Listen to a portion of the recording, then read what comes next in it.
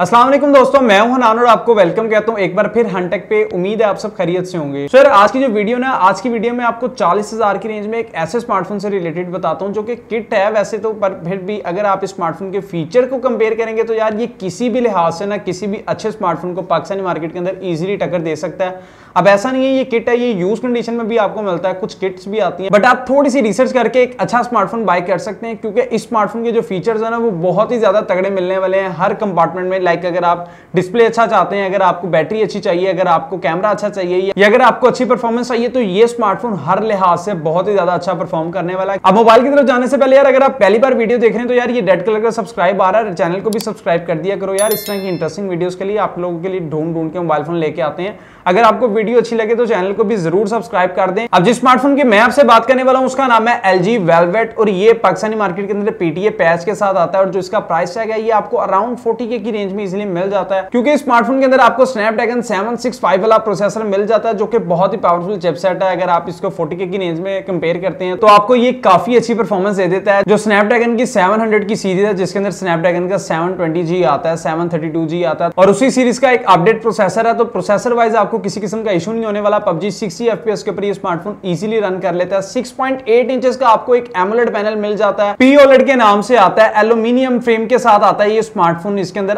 Always on display भी आपको मिल जाता है। कर्व डिस्प्ले है 90 हर्ट्ज वगैरह ऐड नहीं किया गया बट डिस्प्ले बहुत ही ज़्यादा औसम आपको स्मार्टफ़ोन का मिल जाता है। छह जीबी की रैम है, एक जीबी की स्टोरेज भी मिल जाती है, लेकिन इस स्मार्टफ़ोन में जो कैमरा वो बहुत ही ज़्यादा आपको तगड़ा मिल जाता है। क्योंकि स्मार्टफ़ोन में जो मेन कैमरा 48 मेगापिक्सल का मिलता है इलेक्ट्रॉनिक में स्टेबलाइजेशन इस कैमरा में आपको मिल जाती है। साथ आपको 8 मेगापिक्सल का अल्ट्रा वाइड और 5 मेगापिक्सल का डेप्थ सेंसर मिल जाता है। फ्रंट वाली साइड पे आपको 16 मेगापिक्सल का कैमरा मिलता है, जो कि नॉच में लगाया गया है। अब जो बैक कैमरा उसके अंदर आपको 4K तक की रिकॉर्डिंग भी मिल जाती है। तो अगर आप स्मार्टफ़ोन से 4K की रिकॉर्डिंग करना चाह रहे हैं तो ये स्मार्टफ़ोन आपको 4K में रिकॉर्डिंग देने वाला है। अगर स्मार्टफ़ोन के सिक्योरिटी फीचर्स की बात करें तो यार स्मार्टफ़ोन में इन डिस्प्ले फिंगरप्रिंट स्कैनर और फ्रंट कैमरा में फेस आईडी की सपोर्ट मिल जाती है, जो कि इस प्राइस टैग में आने वाले जितने भी स्मार्टफ़ोन है, बहुत ही कम ऐसे स्मार्टफ़ोन है जिसमें आपको ये फीचर मिल रहा है। क्योंकि अगर आप पाकिस्तानी मार्केट के अंदर इस टाइम के लिहाज से स्मार्टफ़ोन देखें तो या तो ज़्यादातर बैक पे फिंगरप्रिंट लगाया गया होता है, या साइड माउंटेड फिंगरप्रिंट आपको मिल रहा होता है तो इस स्मार्टफ़ोन में आपको इन डिस्प्ले फिंगरप्रिंट स्कैनर की फैसिलिटी भी मिल जाती है।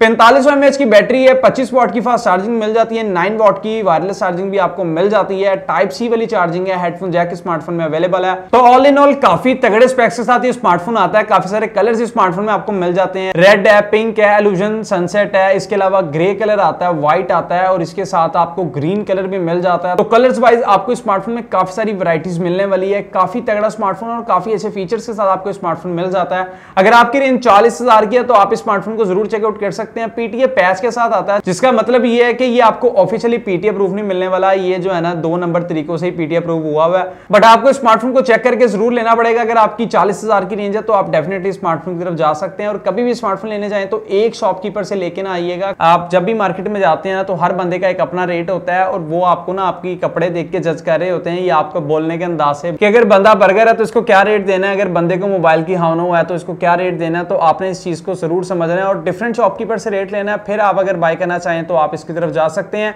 मुझे कमेंट्स में बताएगा कि आपके स्मार्टफ़ोन से रिलेटेड क्या रहे अगर आपकी रेंज इतनी है तो क्या आप स्मार्टफ़ोन की तरफ़ जाएँगे या आप इसे बेटर किसी और स्मार्टफ़ोन को ज़्यादा प्रेफर करेंगे?